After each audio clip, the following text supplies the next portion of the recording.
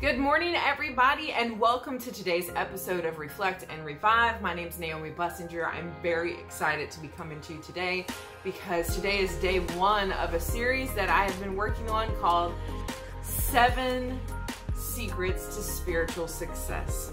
And there's a quote I wanted to start off with that I think is great that I'll probably refer back to several times. The author is unknown, but it kind of defines what it is to be a spiritual man or a spiritual woman. A spiritual man is not a mystical, angelic, otherworldly person with a halo about his head and a faraway look in his eyes. A spiritual man is a person who is good when he doesn't feel like being good who is patient when he feels like being impatient, who smiles and keeps sweet and does not retaliate when he is lied about, who is cheerful when he feels like being downcast, who goes to church when he'd rather sleep at home or go on a joyride, who keeps steadily and sweetly at the job of being a Christian when he really feels like just going out and slamming the door. I think that's profound like I said, we'll probably come back to it a couple of times. I know that there are several instances in that quote where I'm like, ooh, that's been me a few times. Uh, but so, how do you get spiritual success? Like, how do you grow in your spiritual life? How do you become more Christ like? I think lesson one has to come down to accepting personal responsibility for your actions, for your spiritual life, you know, all, all of the things, the things that you choose to do, the things that you choose to say, your demeanor, everything about you. Taking personal responsibility. And that's a really tough thing to do today because you're going against the grain of our culture. Today it seems to be a world of irresponsibility, playing the blame game. You know, there's always a reason why it really wasn't all your fault. Um, and if you take the, the fall of man, the story of Adam and Eve, I think that today there are many people that would say, oh, it was all Eve's fault. Adam was punished, he was cursed, he was kicked out of the garden, all because of Eve's actions, and that's not fair. But that's not, like, that couldn't be further from the truth. Adam was not punished because of what Eve did. Adam was punished because he yielded to Eve and her desire. He chose to walk the path of sin with her. Therefore, he was cursed, punished, removed from the garden. It wasn't Eve's fault. They both chose individually to sin. So, I wanted to get into a story today, um, and it's really about, it, it, shows how it's not just uh, actions that are sins, but our behavior how how we act, our level of emotional intelligence, and how we must choose to not let the behavior of others influence our behavior. So, in some spare time today or this week, I highly recommend you go through and read 1 Samuel chapter 25. This is a story of Nabal and Abigail, they're husband and wife, and the future King David. Now, it was common practice in these days for rich landowners to pay men who came through their land and protected their flocks, their herds, their shepherds, their supplies. Very common practice to that day's culture. And this is what David and his men had just completed. They had protected Nabal's um, shepherds, flocks, and supplies. And they did a, a, very good job. The scripture states that not one thing missing. So they didn't lose one supply, they didn't lose like one sheep, no man was injured, like nothing. It was flawless. So when that time frame had come to an end, David sent a few of his younger men to go speak to Nabal and ask him for provisions. Again, very common. Asked him for food for his men asked him if they could come on, on a day in which they would serve food. And we have, before I go into Nabal's response, let's, let's talk about him for a moment. His um, name means fool. And there is such a difference in personality and demeanor in, his, in him and his wife that the scripture kind of goes out of its way to say that. If you read verse 3, verse 3 says, The woman was intelligent and beautiful, but the man was harsh and evil in his dealings. So his response to David's um, men was basically a mockery. Um, he's like, you know, I don't know who David is.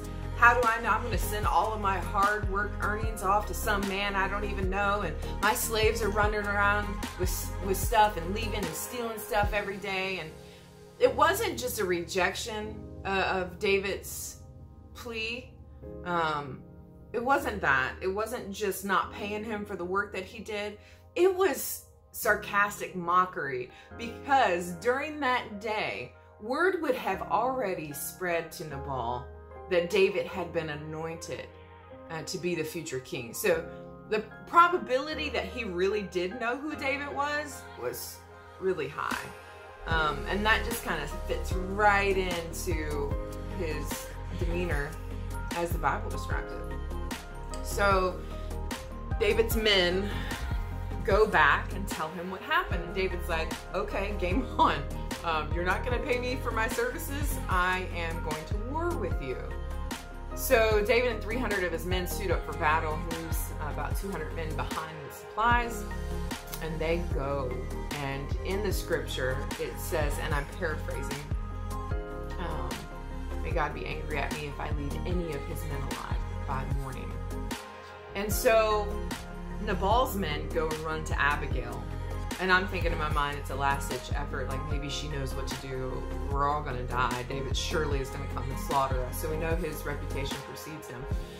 And Abigail's okay, get all these supplies and she lists them out and take them to David. I'm gonna also go to David. She gets on a donkey and rides to David.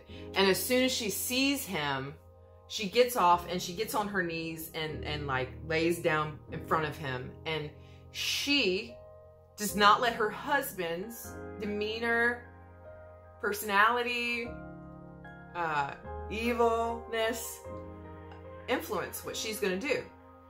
She takes all of the blame on herself.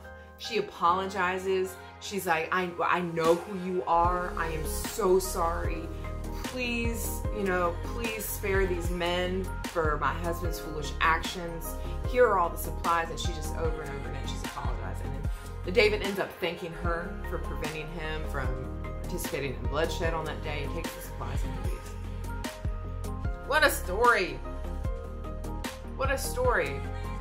It could have been very easy for Abigail to be influenced by her husband's actions, his words, his demeanor.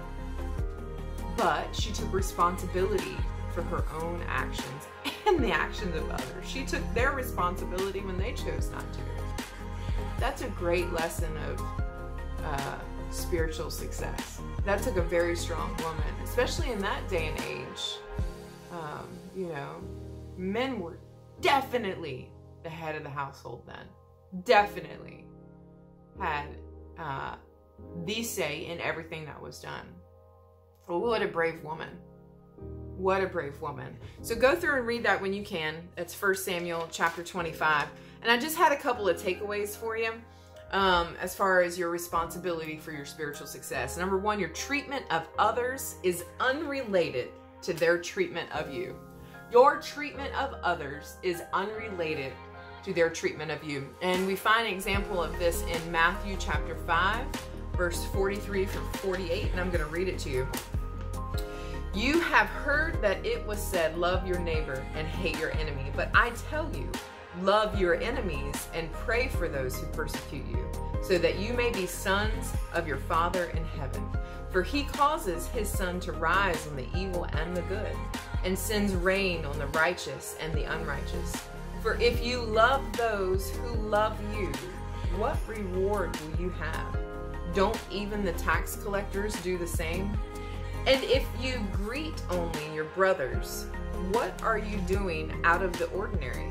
Don't even the Gentiles do the same? Be perfect, therefore, as your heavenly Father is perfect. It's basically saying, like, you have to be set apart. You have to be set apart. If your treatment of others is unrelated to their treatment of you, then you're different from the world. Because the world only loves people who love them. The world is only friends with people who loves them. But the Christian is called to love everybody. The Christian is called to love people who talk about you, people who lie about you, people who gossip about you. You're called to love them. So you must take responsibility for that spiritual choice. Uh, the second scripture is uh, John chapter 14, 15 through 17, which is really talking about, to me, uh, obedience is key. Uh, you've been given the Holy Spirit, and the Holy Spirit will guide you. So you have to take responsibility in that. If you love me, you will keep my commands. And I will ask the Father, and he will give you another counselor to be with you forever. He is the Spirit of truth. The world is unable to receive him because it doesn't see him or know him, but you know him because he remains with you and he will be in you. You are responsible to do what is right no matter what anyone else does. Another person's wrong is never an excuse for your wrong. No one can make you do anything. All actions that are conscious involve choices and, decisions. I pray today that you will be ever mindful of the Holy Spirit in your life and seek his guidance for everything that you choose to do and everything that you choose to say. See you guys tomorrow. Bye.